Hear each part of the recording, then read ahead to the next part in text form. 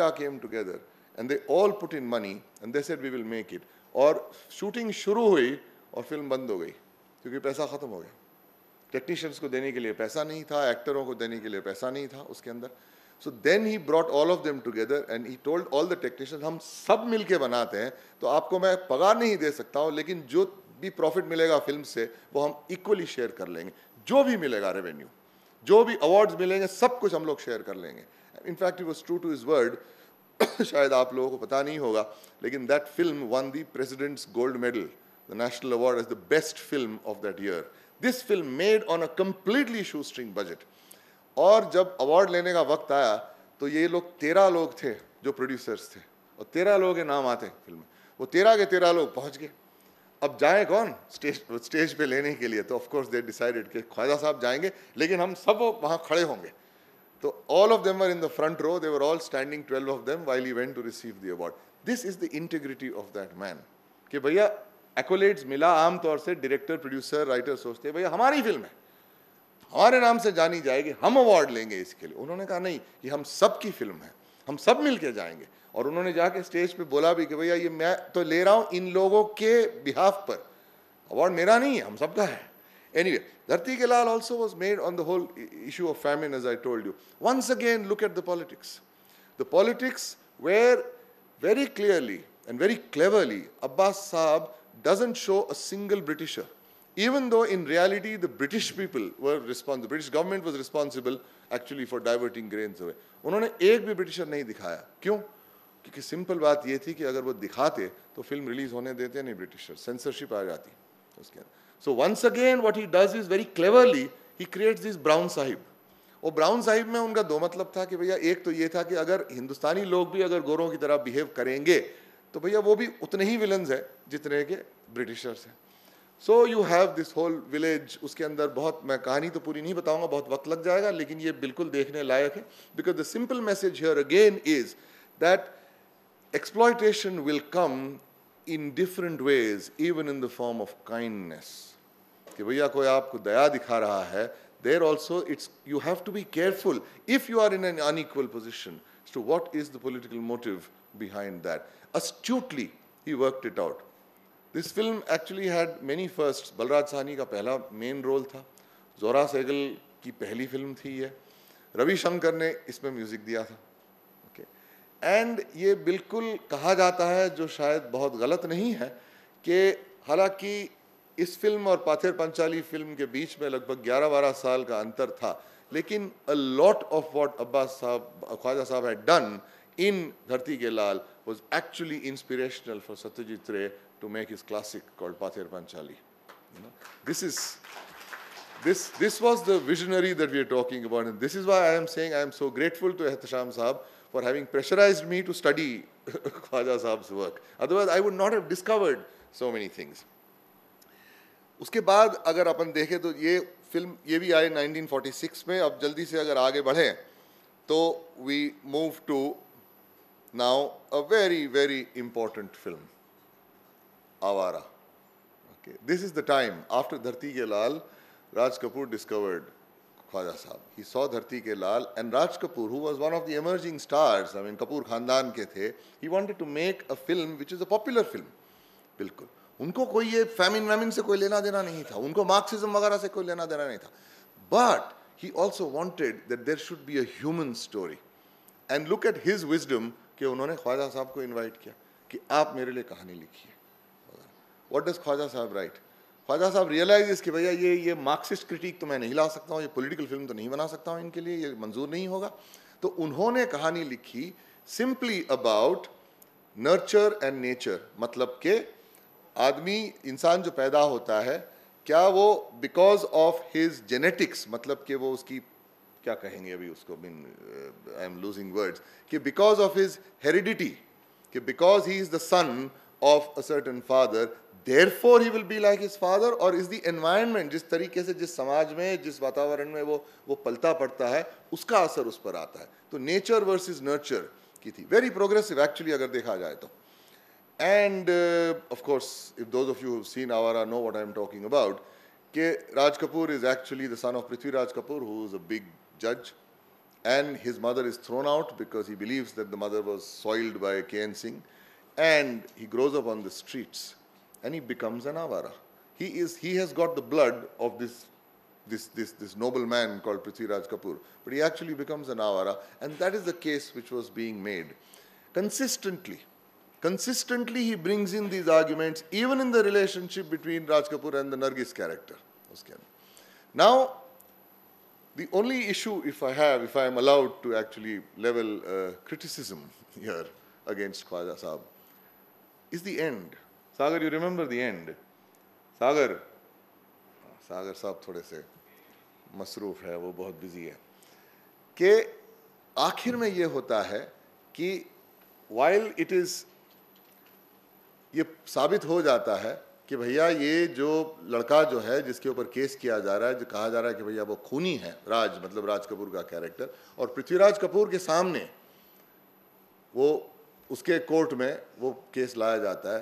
पृथ्वीराज कपूर की जो अडॉप्टेड जो डॉटर है, नरगिस, वो केस लड़ रही है। Look at how twisted the whole dramaturgy is and Prithviraj Kapoor discovers कि भैया ये राज जो है, लड़का जो आवारा, जिसके ऊपर खून का इल्ज़ाम लगाया गया है, हालाँकि उसने खून नहीं किया था कि वो मेरा ही बेटा है now unfortunately the whole resolution is कि भैया वो बेटे को स्वीकार कर लेता है एंड द बेटा becomes like that same class okay and this is a point actually at which there was a lot of debate कि भैया just because he belongs to the upper class how can he suddenly overnight get transformed and actually become like them he is who he is और मैं आज सवेरे उठ के ये सोच रहा था एयरपोर्ट जाते वक्त कि व्हाट इफ़ उसका एंड ऐसा होता तो?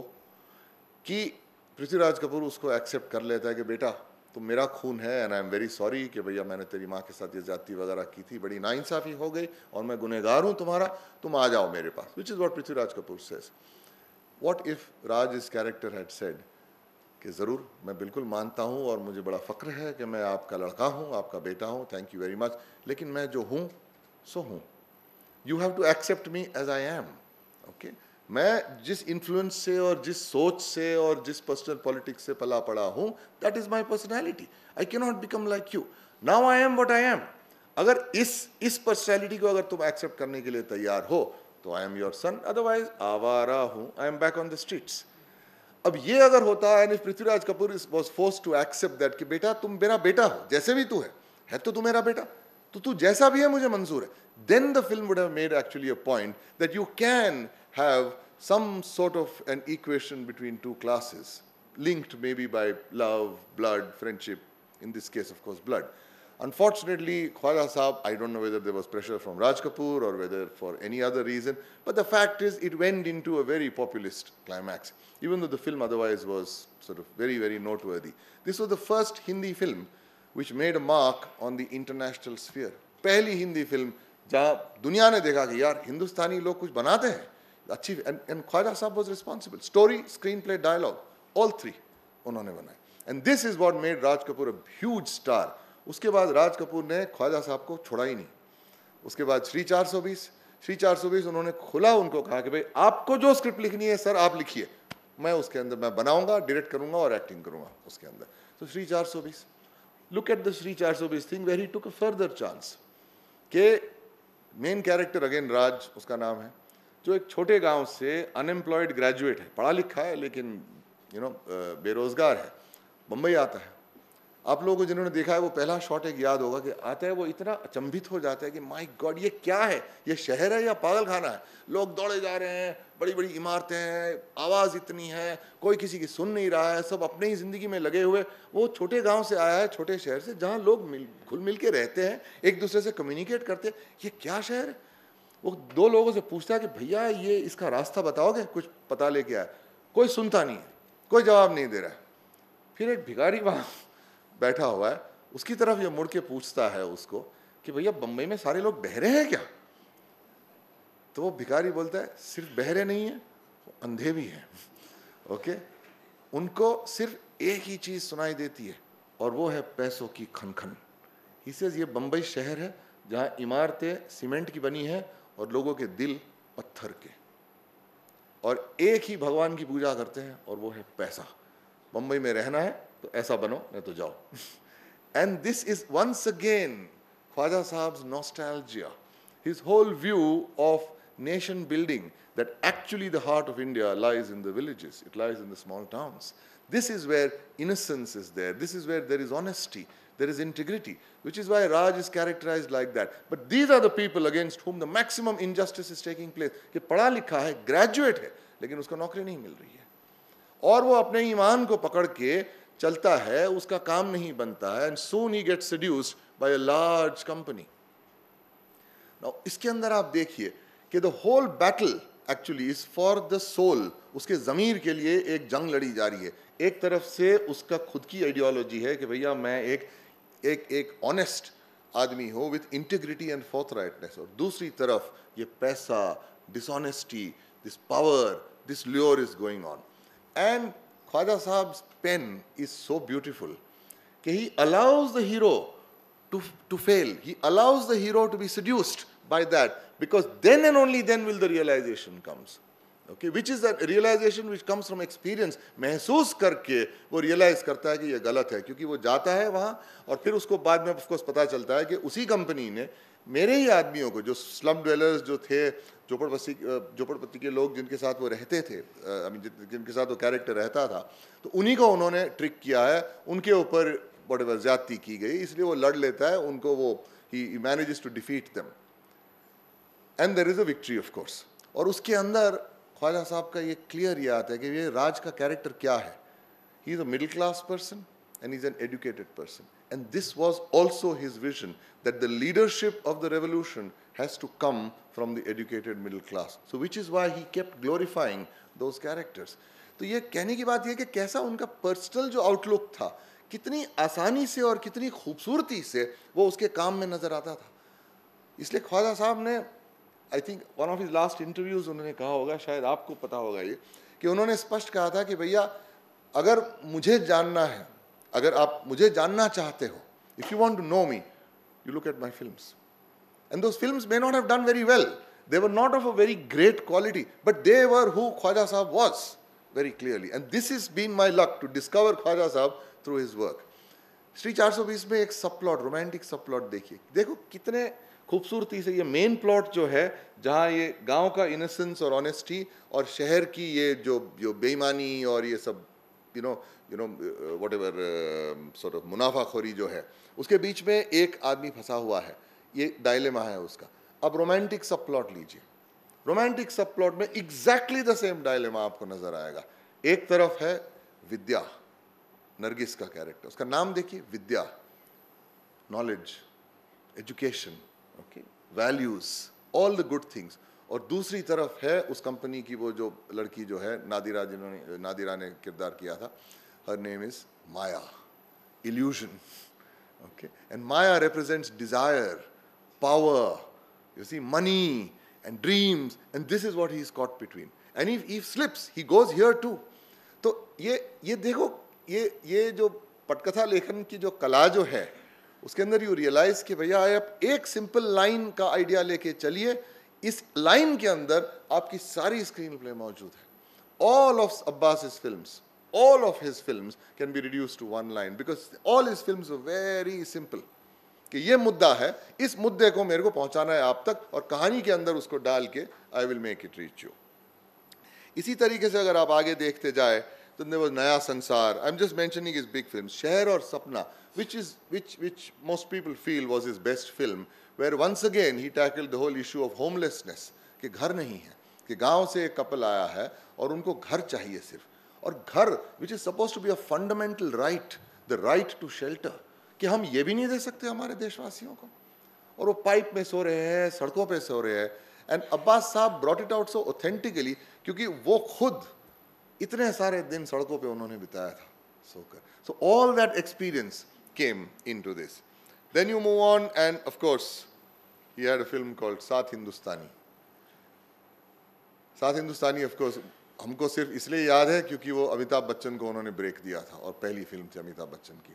पर अगर आप एक्चुअली अगर आप देखें इसके अंदर तो अगेन नेशनल यूनिटी की बात हो रही है। वो उस टाइम पे 1969 में रिलीज़ हुई थी, जहाँ राइट्स हो चुके थे लैंग्वेज राइट्स हो चुके थे, तेलंगाना एजुटेशन हो चुका था रीजनल प्रॉब्लम्स चल रहे थे।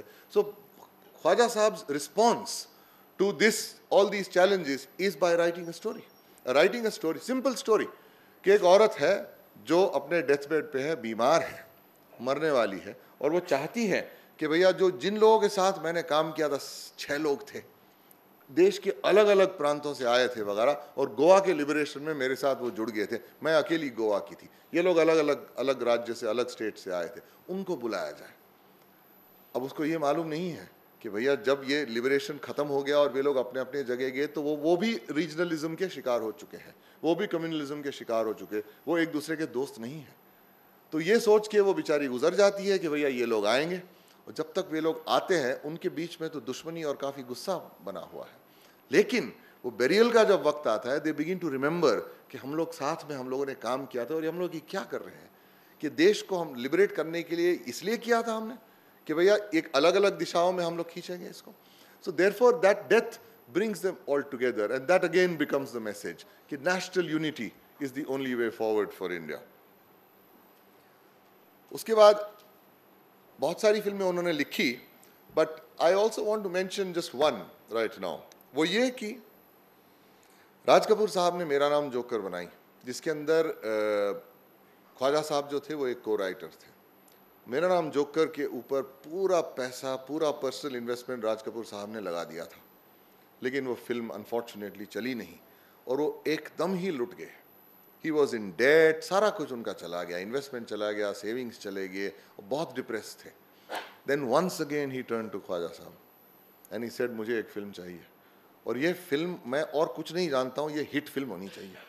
सक्सेस चाहिए मुझे और कुछ नहीं चाहिए। और, और आप मदद कीजिए मेरी आप मेरे साथी हो। मेरी आवाज़ हो आप। आप लिखिए कुछ, जो मैं बनाऊँ। तो ख्वाजा साहब ने अपनी पूरी पॉलिटिक्स, सारी चीज़ें दोस्ती की खातिर थोड़े कुछ देर के लिए अलग रखी और उन्होंने लिखी Bobby. Can you imagine that man who wrote Neecha Nagar Dharti के लाल सात हिंदुस्तानी, उन्होंने अपने दोस्त के लिए बॉबी लिखी। And Bobby became a super hit film as all I am sure all of you have seen that लेकिन उन्होंने उसके अंदर भी अपना जो मैसेज जो था, वो थोड़ा सा हल्का सा छोड़ ज़रूर दिया कि, बॉबी, में लव स्टोरी है। लव स्टोरी का मेन प्रॉब्लम क्या है? अमीरी गरीबी। तो ये अमीरी गरीबी उन्होंने छोड़ी नहीं कि, भैया, ये प्रॉब्लम हिंदुस्तान का है और अगर लव स्टोरी लिख रहा हूँ तो उसके अंदर भी यही प्रॉब्लम होगा। और अगर आप देखें प्रेमनाथ के कैरेक्टर को, कहीं जो जिस अंदाज से वो बात करते हैं, जो उनका एक, उनकी जो एक पर्सनैलिटी जो है, कहीं ना कहीं आपको थोड़ा सा आवारा थोड़ा सा शी चार सौ बीस उसके अंदर नज़र आता है कि एकदम धरती की भाषा बोलते हैं वो उसके अंदर। And he brought that about and that was the main conflict तो कहीं उनको भी अच्छा लगा होगा कि भैया मेरा पॉलिटिक्स इसके अंदर आ गया। और राज राज कपूर को तो बहुत ही अच्छा लगा होगा कि उनकी फ़िल्म सुपरहिट बन गई उसके अंदर। उसके बाद आई थिंक थोड़ा सा हेना की कहानी उन्होंने लिखी थी और उसके बाद राम तेरी गंगा मैली में भी थोड़ा सा एक रीराइट उन्होंने किया था। तो उतना लंबा साथ उनका रहा राज कपूर साहब के साथ। Anyway I am I have taken too much of your time I am going to wind up by merely saying this के पॉलिटिकल सिनेमा और ये पैरेलल सिनेमा जिनको हम बहुत मीनिंगफुल समझते हैं और जो है भी, गोविंद निहालानी साहब, श्याम बेनिगल साहब, इन लोगों ने ऋत्विक घटप साहब, मृणाल सेन ने बहुत अच्छा काम किया। लेकिन इनके सबके जो जो in in one sense godfather जो थे, वो थे ख्वाजा साहब। और ख्वाजा साहब ने अपने आप को किसी ऐसा कुछ नहीं कहा कि भैया, हम लोग एक मूवमेंट बनाते हैं पैरेलल सिनेमा की। नहीं, Khwaja Sahab just honestly responded to what he believed this country actually was going through. And he felt that that has to be expressed through my cinema. And that message which I want to convey to the people, this is my medium.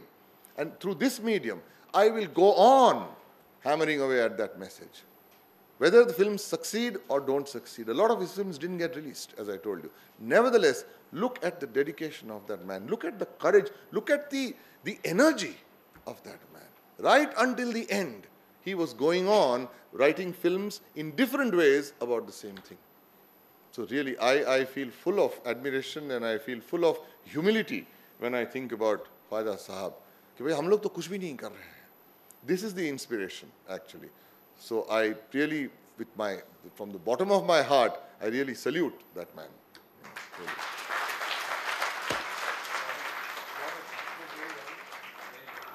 बेहद शुक्रिया, sir. आज शायद हम सब अपने आप को बहुत ही फॉर्चुनेट फील कर रहे हैं कि हिंदुस्तानी सिनेमा के पर्दे के पीछे के इतने बड़े बड़े सितारे हमारे साथ हैं। इतने मुफक्र दानश्वर प्रोड्यूसर डायरेक्टर राइटर सब स्टेज पे हैं। शायद आज का दिन बहुत ही तारीखी होगा, जहाँ हम ख्वाजा अहमद अब्बास साहब को याद कर रहे हैं। वहीं आज राजनीति और इस तरह की फ़िल्मों के स्क्रीन राइटर भी हमारे साथ हैं और अब इस मरहले में हमारे साथ एक और बहुत बड़े सितारे, जिनके जो बहुत बड़े डायरेक्टर प्रोड्यूसर हैं हिंदुस्तानी सिनेमा के, आप सबने उनकी फ़िल्में देखी होंगी, जिनमें से कुछ इस तरह हैं।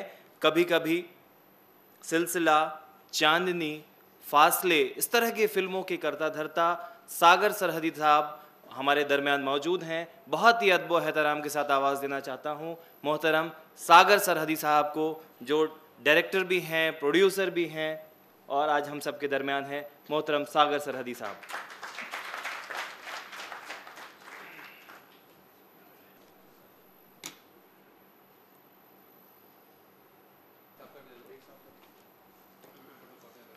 जब मैंने रजब अली का नाम पढ़ा कि वो भी आने वाले हैं और यहाँ इस सेमिनार में हिस्सा लेंगे तो मुझे बेहद खुशी हुई। खुशी इस बात के लिए नहीं हुई कि वो बहुत अच्छा बयान करेंगे या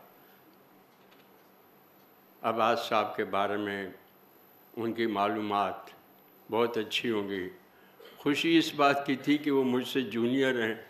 इस बात की थी कि अब्बास साहब को नहीं जानते। इस बात की भी थी कि उन्होंने प्रोग्रेसिव राइटर एसोसिएशन वगैरह मार्क्सिज्म इधर उनका जो है, ज़्यादा ध्यान नहीं है। लेकिन इस कमबख्त ने सब कुछ बता दिया और बहुत शानदार तरीके से, बहुत अच्छी तरीक़े से स्टडी करके। पूरी मालूम अब्बास साहब के बारे में सोच समझ कर, पढ़ कर, लिख कर हमारे सामने पेश की है, मैं मुबारक देता हूँ। हमारे दोस्त हैं, बहुत अच्छे दोस्त हैं। फ़िल्मों में अभी आए हैं और बहुत अच्छा काम कर रहे हैं। अब मेरी मुश्किल ये है कि मैं अनपढ़ आदमी हूँ और स्कॉलर तो बिल्कुल ही नहीं हूँ, जो साहब हमारे, मेरे साथ जो बैठे हुए हैं। हर चीज़ में मैं आधा हूँ या पौना हूँ या नहीं हूँ। यानी मुझे उर्दू नहीं आती और उर्दू में लिखता हूँ।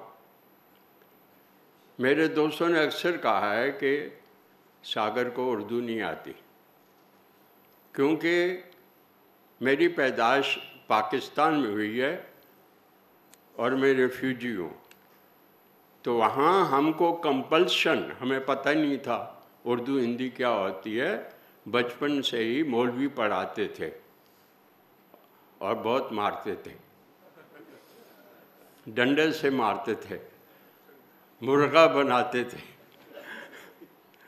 उस वजह से मैंने आठ जमातें पास की पाकिस्तान में और पार्टीशन हो गया और मेरा नाम एक आदमी से हटकर रिफ्यूजी हो गया। शनाख्त ख़त्म होगी मेरी, आइडेंटिटी नहीं रही। नए सिरे से मैंने अपनी ज़िंदगी छोटी मोटी जो शुरू की है। मैं राइटर कैसे बना, मुझे पता नहीं है। मुझे शोहरत क्या में क्यों मिलती है, मुझे पता नहीं है। मैं फ़िल्म लाइन में क्यों आया, मुझे पता नहीं है। सिर्फ़ ये था कि अपनी छोटी सी आइडेंटिटी इस मुल्क में पैदा करूँ। थोड़ा बहुत जो जानता हूँ, थिएटर के बारे में जानता हूँ, मेरा लगाव बहुत ज़्यादा है। और उर्दू थिएटर में मैं वाहिद एक प्ले राइट हूँ जो मुसलसल लिखता हूँ, थिएटर करता हूँ। फ़िल्मों से मेरी कोई दिलचस्पी नहीं है। लेकिन मैं फ़िल्में लिख कर नाम कमाता हूँ और पैसे कमाता हूँ। अजीब दास्तान है मेरी। अब्बास साहब के बारे में एक अजीब ताल्लुक़ था मेरा पर्सनल छोटी छोटी बातों से। हम, मैं ज़ाहिर है बहुत जूनियर था। हमारी जो जो थोड़ी सी जो आइडेंटिटी हमें मिली है वो थी प्रोग्रेसिव राइटर एसोसिएशन। बॉम्बे में जो हमारी बेहद अच्छी मुनज़म शानदार सी एक कम्युनिस्ट पार्टी की एक समझिए एक, एक उस फलसफे को लेके एक जमात थी। और जो आइडेंटिटी मैंने खोई थी वहाँ पाकिस्तान हिंदुस्तान बनने से प्रोग्रेसिव राइटर एसोसिएशन में ज्वाइन करके मुझे थोड़ी थोड़ी अपनी आइडेंटिटी मिलने लगी। मैं अपने आप को समझने लगा। और उस पूरी जो आइडेंटिटी थी, प्रोग्रेसिव राइटर एसोसिएशन की, जिसमें कृष्ण चंद्र जाफी साहब, कैफी आजमी थे, अब्बास साहब थे। अब्बास साहब हमारे चारों तरफ़ थे। अब्बास साहब की जो जो पर्चा था, वो समझिए प्रोग्रेसिव राइटर एसोसिएशन की एक्सटेंशन थी। अब्बास साहब का जो ऑफ़िस था, वो हम लोग चाय, कॉफ़ी पीने के लिए वहाँ जाकर ढेर सारी बातें करते थे। और मेरी कहानियाँ भी उनके पर्चे में, जब वो उन्होंने उर्दू में उसका वो निकलना शुरू हुआ पर्चा तो। और उनका घर भी वैसे ही था। मैंने बेहद लंबी, बड़ी कहानी बेदी साहब की, अब्बास साहब के घर पे सुनी थी। दो अढ़ाई घंटे की लंबी कहानी जो उन्होंने लिखी थी, उसकी जो नशिश थी वो अब्बास साहब के थे वहाँ चाय, कॉफ़ी, इंसानियत, खूबसूरती, भविष्य, आपके बारे में कितने अपने आप को खुशकिस्मत समझते थे कि हम इस जमात में शामिल हैं और हमारी रसाई है अब्बास साहब की तरफ़। पहुँच है अब्बास साहब हमारे चारों एक आपको बेहद छोटा सा वाक़ मैं सुनाता हूँ कि रेलवे स्टेशन पर टीटी ने हमें पकड़ लिया था आधी रात को। उनकी अवेलेबिलिटी और उन हमारा कॉन्फिडेंस उन पर कि, किस कदर कुछ नहीं होने वाला जो मर्ज़ी कर लो।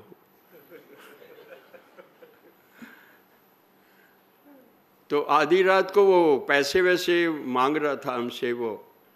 तो हमने आधी रात को अब्बास साहब को फ़ोन किया।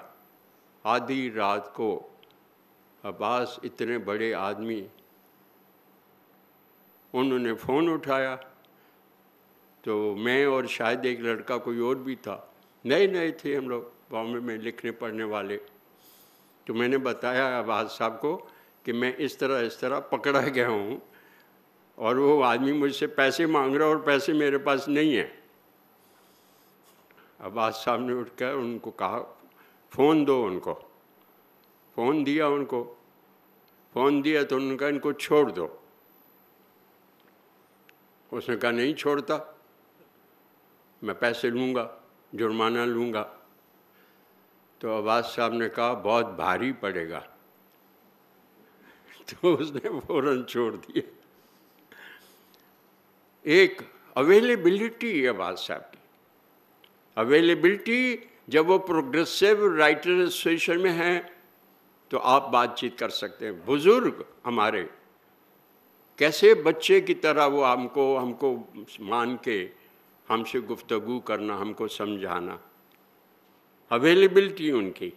अगर आप किसी इशू बेस्ड पे अगर फ़िल्म बनाते हैं तो वो वहाँ जगह मिलती है। हमें बड़े प्यार से वो, खुलूस से वो हमें शामिल करते हैं। एक बात जो हमको आज तक महसूस नहीं हुई, लेकिन बहुत ज़रूरी है कि आज बड़े क्रिटिक्स या बड़े बड़े फाइनेंसर्स हमारे सरों पे जो आपको सुनकर बेहद अजीब सा लगेगा कि हमारे जो फाइनेंसर थे गुलशन राय जी बहुत बड़े फाइनेंसर तो उन्होंने कभी कभी के बारे में राय दी थी कि ये बुकिश है। एक दिन नहीं चलेगी।